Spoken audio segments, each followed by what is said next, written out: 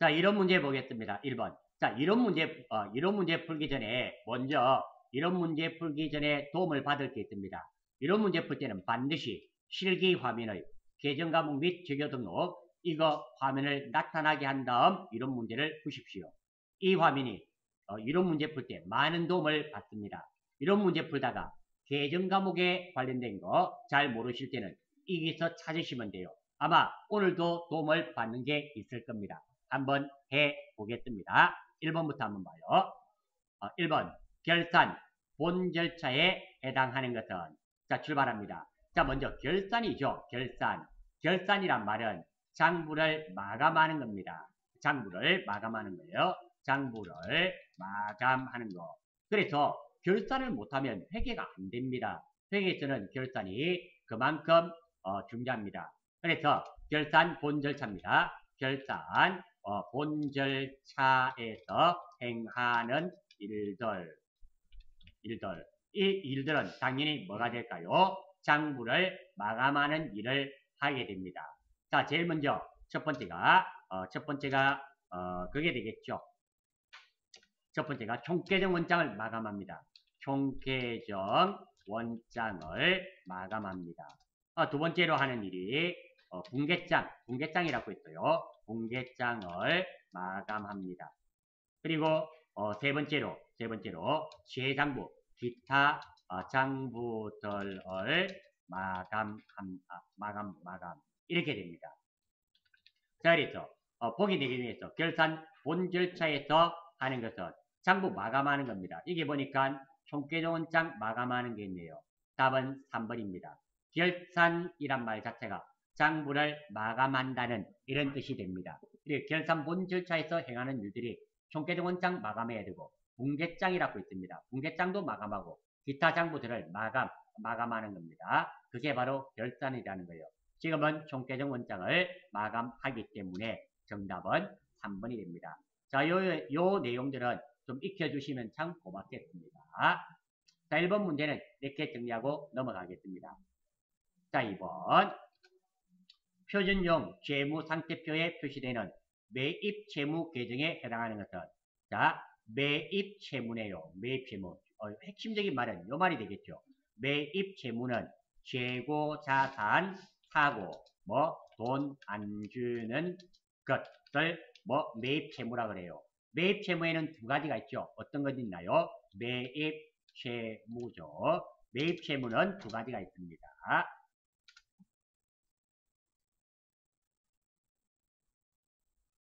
외상 매입금, 외상 매입금과 뭐 받을 어음이 있죠. 반대말이 뭐 있나요? 매출 채권이 되겠죠. 매출 채권은 외상 매출금과 그리고 아유, 직업어음이죠. 미안합니다. 어, 직업어음이고 매출 채권이 뭐 받을 어음이 되겠죠. 이 네 가지가 됩니다. 지금 출제자는 매입 채무를 물어봤습니다. 매입 채무니까 외상 매입금과 직업어음이 되네요. 외상 매입금과 직업어음인 답은 2번이 될 수밖에 없습니다. 자, 이것은 이것은 우리가 많이 다루었던 겁니다. 많이 다루었던 내용이라서 어, 이론은 이론에만 관련된 문제도 출제되지만 실기에 관련된 것이 이런 문제로도 많이 출제됩니다. 자, 3번 한번 보겠습니다. 3번. 자산, 부채, 자본에 대한 설명으로 틀린 거 찾는 거네요. 항상 문제는 맞는지, 맞는 건지, 틀린 건지가 중요하죠. 틀린 거. 기업이 경영활동을 위하여 소유하고 있는 각종 재화와 채권을 자산이란다. 그렇죠? 자산을 내가 가지고 있는 재화, 어, 돈이나 뭐 이런 것들, 그리고 받을 권리를 자산이랍니다. 1번 정확하게 맞는 말입니다. 2번 기업이 장래에 타인에게 갚아야 할 채무를 어, 부채란다. 채무는 갚아줘야 되는 의무를 말합니다. 채무란 말이 갚아줘야 하는 의무, 의무가 채무가 되는 거예요. 반대말이 채무의 반대말이 뭐? 채권이 되겠죠. 채권은 받을 권리입니다. 받을 권리를 채권이라 고 합니다. 회계하다 보면 채권, 채무 이런 말을 많이 씁니다. 2번도 맞는 말입니다. 3번 기업의 부채에서 자본을 차감한 것을 자산이란다. 이거 한번 적어볼까요? 자, 요 말대로 한다면 어, 자산은 자산은 자, 요 말대로 한다면 자산은 뭐 자본에다가 뭐를 뺀다고 되어 있습니까? 부채를 아 부채에서 부채에서 자본을 빼네요. 부채에서 자본을 뺀다. 자본을 뺀다. 이렇게 되네요. 이거 틀렸네요. 틀렸습니다. 자, 이거는 우리 교주님의 말씀에 있었습니다. 처음에 나와 있죠. 보세요. 자, 대차 평균의 원리에 의해서 차변에는 어, 어쨌든 재무상태표에는 자산과 부채 자본이 대변에 나타납니다. 자, 대차 평균의 원리에 의해서 뭐 이거 두 개를 더하면 반드시 이거와 같다 그랬습니다. 따라서 자산은 부채 플러스 자본입니다. 마이너스가 아니네요. 따라서 답은 3번이 틀렸습니다. 3번이 틀렸고 이는 자산은 부채 마이너스가 아니라 뭐 플러스가 되겠죠. 그래서 답은 3번임을 알 수가 있습니다. 자, 이것도 마찬가지입니다. 여기에 어, 재무상태표 교진의 말씀 1병에 나와 있는 말입니다. 자, 다음 4번. 자산, 부채, 자본은 기업의 재무 상태를 나타낸다. 그렇죠. 재무 상태표에는 세 가지가 나타납니다. 차변에는 자산, 대변에는 부채와 자본, 마찬가지입니다. 손익계산서에도 두 개 나타나죠. 뭐, 차변에는 비용, 대변에는 수익이 나타납니다. 손익계산서는 일정 기간에 경영 성과를 나타내는 표라는 거 알아주시기 바랍니다. 아무튼 답은 3번이 틀렸습니다. 답은 다음 중 감가상각을 하지 않는 사산. 자, 먼저 이 말은 감가상각을 알아주셔야 되겠네요.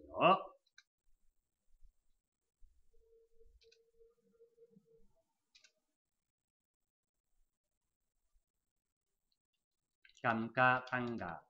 감가상각이란 말은 이 말이 무슨 뜻인가부터 먼저 알아야 되겠죠. 어, 모든 모든 유형자산 및 무형자산은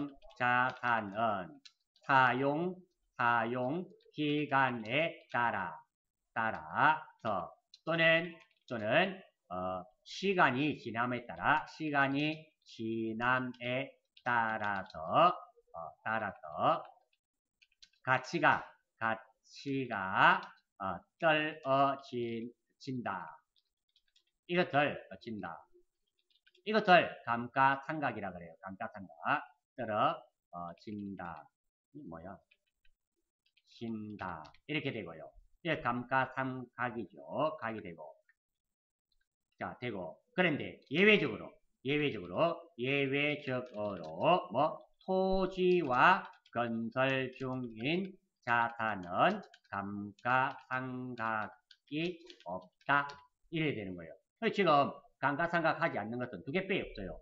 토지와 건설 중인 자산은 이 자체가 감가상각이 존재하지 않습니다. 아, 따라서 지금 문제에서는 답을 뭘로? 토지밖에 없죠. 답은 그래서 1번이 될 수밖에 없습니다. 아, 이런 말씀도 한번 드린 적 있죠. 아, 예, 아마 드린 적이 있는 걸로 알아요. 혹시 어, 놓치셨다면 이번 시간을 통해서 알아주시기 바랍니다. 감가상각이란 말은 말 그대로입니다. 모든 유형자산 및 무형자산은 어, 시간이 지남에 따라서 아니면 사용함에 따라서 그 가치가 점점 떨어집니다. 그것을 감가상각이라 그러고 우리 회계에서는 감가상각 없는 게 딱 두 가지밖에 없습니다. 토지와 건설 중인 자산이라는 겁니다. 자 다음 5번 자 다음 글의 붕괴로 오른 것은 거래 내용이 나왔네요. 전산회계 이것은 사실 붕괴 시험입니다. 이거 붕괴 한번 해보겠어요. 어, 외상매입금 5만원을 보통 예금 계좌에서 이체하여 지급하였다. 실기와 똑같이 푸시면 됩니다. 돈은 필요 없어요. 이 내용은 간단하게 무슨 말이 되나요? 간단하게 뭐 외상 매입금 뭐 갚아 주는 내용으로 정리할 수 있겠네요. 맞나요? 구체적으로 돈을 한번 적어볼게요. 외상 매 입금이 얼만데 50불을 뭘로 갚아줬나요? 보통 예금으로 어, 주는 내용 이렇게 정리가 됩니다. 자 이게 뭐 교주님의 말씀에 나오는 말도 없고 아무것도 없네요. 그대로 한번 해보겠어요. 외상 매입금은 외상 매입금이 되고 얼마? 50불. 보통 예금은 계정화목이 또 보통 예금이죠. 보통 예금 얼마? 50불. 다음 무엇을 가지고 들어왔다 나갔다 따지는 게 가장 합리적일까요? 보통 예금 좋죠. 자, 이 내용대로 한다면 우리 회사 보통 예금 통장에 돈이 들어왔을까요? 돈이 나갔을까요? 돈이 나갔죠. 왜? 외상값을 갚아주는 거니까. 나갔으니까 요놈이 대변이며. 다음, 채권 채무에 관련된 계정 과목은 거래처를 적어야 되죠. 근데 문제의 거래처 자체가 없잖아요. 어쩔 수 없이 못 적어요. 어, 안 적습니다. 보기에도 보니까 어, 없잖아요. 차변에는 뭐? 외상매입금. 대변에는 보통 예금. 외상매입금 요거 아니고 외상매입금 보통 예금인 답은 2번이 되겠네요. 자, 이 문제는 어, 출제자가 분개할 수 있는 능력이 있는지 없는지를 물어본 그런 문제가 됩니다. 쉽죠? 이게 쉬운 게 많아요. 대부분 그렇습니다. 자, 6번. 다음 중 재고자산에 해당하지 않는 것. 이건 너무 많이 했습니다. 재고자산에 해당 하는 겁니까? 해당하지 않는 겁니까? 해당하지 않는 거예요. 자, 재고자산 우리 한번 보겠습니다. 이게 사실 우리가 공부 안 한 것처럼 보이지만 다 봤습니다. 재고자산의 종류, 원재료, 제품, 상품, 반제품, 저당, 어, 미착품, 저당품, 재공품 이런 것들이 다 재고자산이에요. 여기에 없는 게 있단 말입니다. 상품, 제품, 재공품, 기계장치는 아니죠. 기계장치는 아닙니다. 따라서 답은 몇 번? 4번이 될 수밖에 없어요. 이것도 물론 교주님의 말씀에 다 나왔던 그런 내용들입니다. 자, 다음 7번 이런 게 좋아요. 다음 중 도소매업을 영위하는 업체의 판매비와 관리비에 속하지 않는 계정 과목은 자, 요거 한번 보겠습니다. 요 말은 판매비와 관리비에 어, 판매비와 관리비 요 말은 계정 과목 코드 번호가 800번대를 말합니다. 800, 8뭐뭐로 출발하는 게 다 판매비와 관리비입니다. 이거 외우기가 힘듭니다. 외우기가 힘들고 저는 이 답은 3번이 맞습니다. 3번이 영어 외비용인데요. 어, 학생들은 이거 잘 모르잖아요. 찾는 방법입니다. 이렇게 문제 나왔는데 보기에 계정 과목이 4개 나왔어요. 이게 뭔지 모르겠습니다. 찾아보면 됩니다. 어디에 있어? 여기 있어. 그래서 이거 털어놔라는 거예요. 자, 한번 해볼까요? 출발 한번 해볼게요. 먼저 운반비입니다. 여기서 뭐 컨트롤 F, 뭐 운반비, 운반비라고 치면 돼요. 자, 500번째 안 씁니다. 다음 찾기. 600번째 안 씁니다. 600 안 써요. 700, 600 안 써요. 700 안 씁니다. 800번째. 자, 800번째 824번에 운반비라고 넣어줘. 판매비와 관리비 맞잖아요. 1번 맞는 겁니다. 2번 소모품비네요. 이것도 한번 찾아볼게요. 소모품비, 소모품비. 찾았네요. 830번이네요. 맞죠? 3번 아니라 그랬죠. 이자 비용 한번 해볼게요. 이자 비용. 이자 비용은 한번 보세요. 여기 이자 비용 951번입니다. 위에 까마 파랗게 무엇으로 되어 있나요?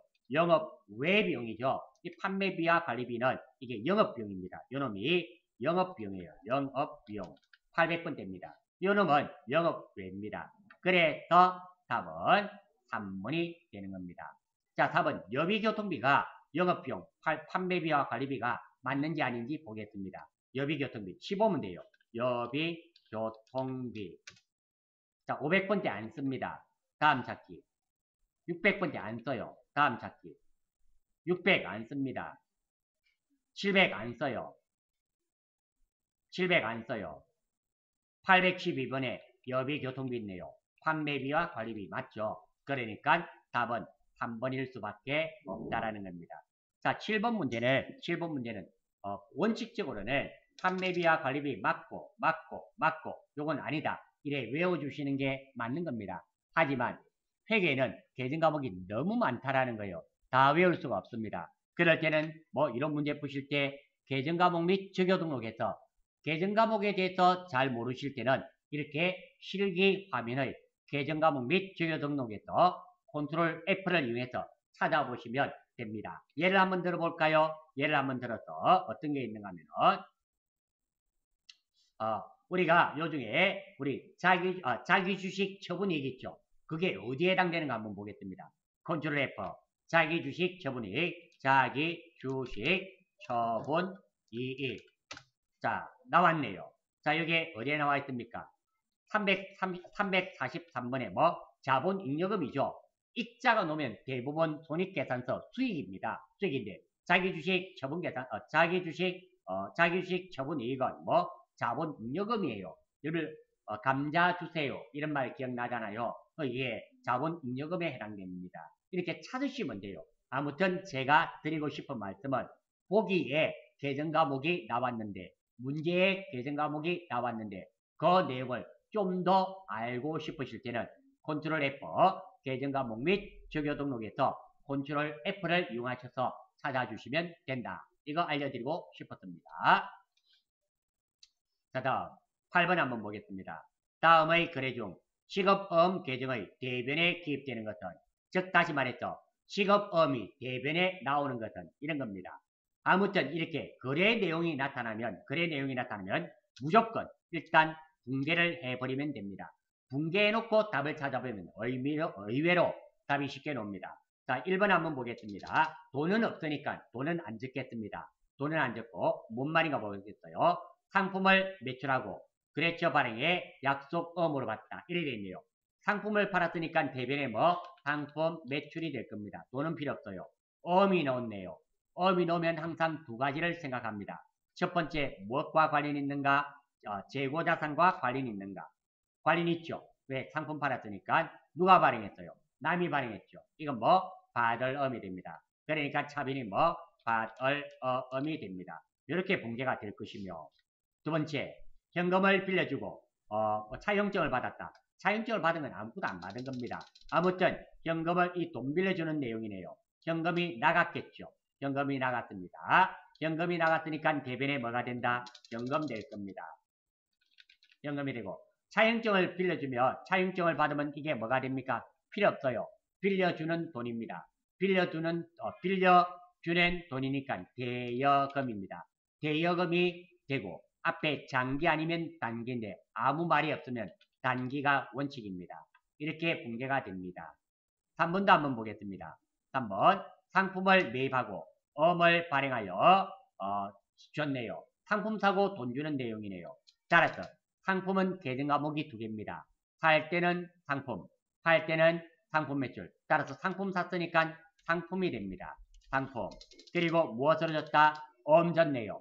엄이 놓으면 항상 두 가지를 생각합니다. 첫 번째 뭐?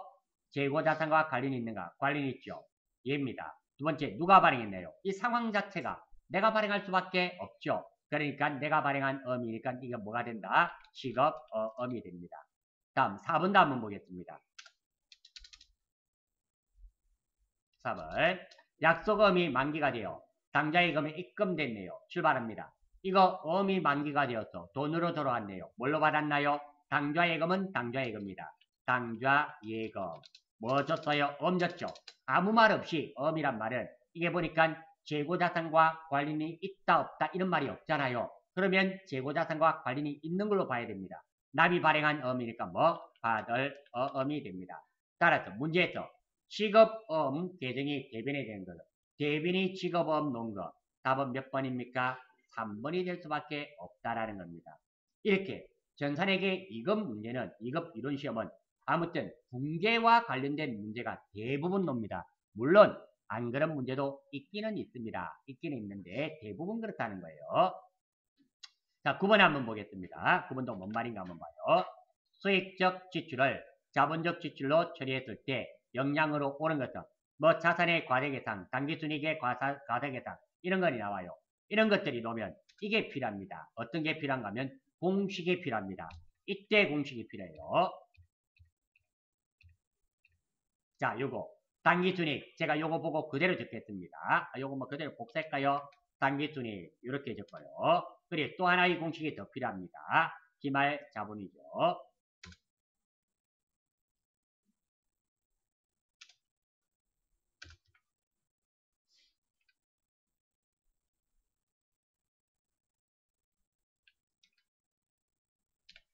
요 두 가지의 공식이 필요합니다. 이 문제를 어, 풀기 위해서는 자 이거 한번 보겠습니다. 수익적 지출을 자본적 지출로 했어요. 그럼 수익적 지출이면 이게 뭘로 회계 처리돼야 되나요? 수선비입니다. 수선비. 수선비로 해야 되는데 수선비로 해야 되는데 그거를 잘못해서 자본적 지출을 했어요. 이 해당 계정 과목입니다. 해당 자산입니다. 해당 자산으로 처리했어요. 당연히 이렇게 되면 수익적 지출, 수선비가 없어지고 해당 자산이 됩니다. 그러면 일단 자산이 뭐 증가되겠죠. 자산이 본대는 없었는데 본대는 수익적 지출인데 자산이 없었어요. 없는데 수익적 지출을 자산으로 했기 때문에 당연히 뭐 자산이 증가됩니다. 자산이 증가되니까 자산의 어, 과다 계상이 됩니다. 자산의 과대 계상. 1번 맞는 말입니다. 1번 맞는 말이 돼요. 왜? 이거 맞습니다. 맞아요. 왜? 이게 보세요. 수선비를 뭐 해당 자산으로 적어버리니까 자산이 증가되잖아요. 1번 맞는 말이 되는 거예요. 두 번째, 자 수익적 지출은 뭐 수선비 비용입니다. 비용을 적어야 됐는데 안 적었어요. 그러면 비용이 늘어날까요? 줄어, 줄어들까요? 비용을 적어야 됐는데 비용을 적지 않았단 말은 비용이 줄어들죠. 비용의 과소 계산됩니다. 비용의 과소 계산. 3번도 맞네요. 이거 이해되시나요? 다음 여기입니다. 자 비용이 올라가면 뭐가 줄어듭니까? 비용이 올라가면 은 자 비용이 요게 본데 있어야 되는데 요거 안 적었어요. 비용이 줄어들면 이익이 올라가겠죠. 맞잖아. 비용이 밴드에 100원이 들었어. 수선비가 100원이었어. 이걸 모르고 안 적었어. 그럼 빵이잖아. 그러면 요게 300원, 요게 100원이면 본대는 200원인데 요걸 빵으로 했단 말이야. 그럼 이게 얼마가 돼? 300이 되잖아. 단기 순이익이 올라갑니다. 이것도 맞네요. 단기 순이익이 올라갑니다. 이거 이해되시나요? 다시 한번 제가 여기에다가 돈을 한번 적어 볼게요. 자, 우리가 예를 한번 들어봅니다. 자, 원래는 총수익이 300이야. 총수익이 300이고, 그리고 총비용이 100입니다. 수선비가 100원이 있었어. 그러면 단기순이익은 얼마가 될까요? 300에서 100을 빼니까 200이 돼야 된단 말이야. 본대는 이렇게 해야 돼. 근데 내가 모르고 요걸 안 적었어. 요거를 0으로 해버렸단 말이야. 안 적어. 안 적으면 어떻게 돼? 300에서 100을 빼니까 이게 얼마로 돼? 200원이 얼마로? 300원으로 올라가잖아.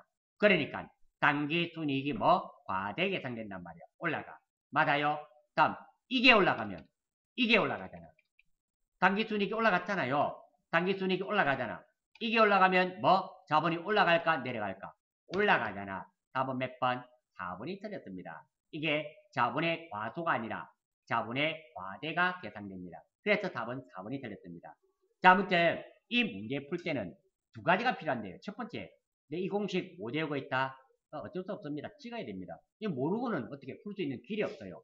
이거를 알고 있으면 외울 필요가 없어요. 숫자를 넣어 보시면 됩니다. 첫 번째, 비용을 모르고 자본으로 적었다. 아, 어, 자산으로 적었다. 당연히 자산이 과대 계산됩니다. 충분히 이해가 될 겁니다. 왜? 비용 자리에 비용을 안 적고 뭐 기계장치, 자산을 적었으니까 자산이 과대 계산됩니다. 충분히 이해됩니다. 두 번째입니다. 자, 비용을 찍어야 되는데 비용을 모르고 안 적었어. 이 비용을 찍어야 되는데 안 적었어. 그럼 당연히 비용이 줄어듭니다. 비용이 과, 과소 계산되는 거. 이것도 당연히 이해가 될 수밖에 없습니다. 자 다음 단기순이익입니다. 이거 찍어야 되는데 100원 찍어야 되는데 100원을 안 적고 빵을 적었어. 그러면 빼지는 게 줄어든단 말은 단기순이익이 올라갈 수밖에 없습니다. 단기순이익이 뭐? 과대 계산될 수밖에 없습니다. 이것도 충분히 이해가 됩니다. 이 단기순이익이 올라가면 이 단기순이익이 올라갑니다. 이 단기순이익이 올라가면 이 두개 더한 값이 올라갑니다. 기말 자본은 뭐? 올라가지 내려가지 않습니다. 그래서 답은 4번일 수밖에 없다라는 겁니다. 이거 이해가 되시나요? 전산회계 2급에서는 이런 문제 제법 놉니다. 간혹 자주로 나와요. 알아주시고 이거 놓으면 또 잘 틀려요. 잘 틀리는데 결정적인 원인은 딱 하나입니다. 이 공식을 모르니까 이 모르면 이 문제 못 풉니다. 외워야 됩니다. 이렇게 너무 많다라는 거예요. 이거 수익적 지출을 자본적 지출로 하고 자본적 지출을 수익적 지출로 하면 또 달라지겠죠. 이걸 어떻게 다 외우겠습니까? 이게 회계는 이렇게 반드시 외워야 되는 것도 있지만 이렇게 이해를 해서 어, 푸는 문제들도 많이 있습니다. 공식은 어쩔 수 없잖아요. 공식은 어쩔 수 없이 외워야 되고 공식 이것도 외우는 게 사실은 아니죠. 올해 총 이익 본 거는 총 돈 버는 돈에서 총 준 돈 빼면 그게 단기순이익이잖아요.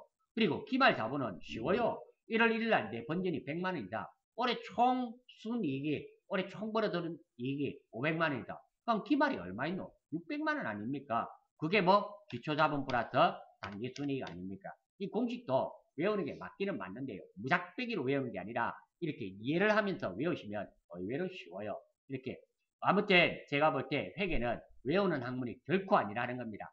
싹 다 95%, 90% 이상, 최소 90, 90% 이상, 95% 이상은 다 이해를 하는 학문이지 이거를 외워서 하는 것은 현실적으로 어렵다. 저도 외우는 거 되게 싫어합니다. 아, 여러분들도 가급적이면 이렇게 이해하실 수 있도록 하고 이 문제가 이해가 안 되시면 아, 다시 한 번 더 잘 살펴보실 수 있도록 하십시오. 이 공식을 가지고 대입합니다. 물론 수익적 지출이 무엇이고 자본적 지출이 무엇이고 이거 모르면 이 문제 또 못 풀죠. 요, 요 부분은 다들 여기 있잖아요. 자본적 지출과 수익 지출 이런 문제 나옵니다. 이 내용을 아시면서 푸실 수 있도록 하셔야 됩니다. 자, 요거 9번 문제 이렇게 넘어가도 될까요? 네, 됐습니다.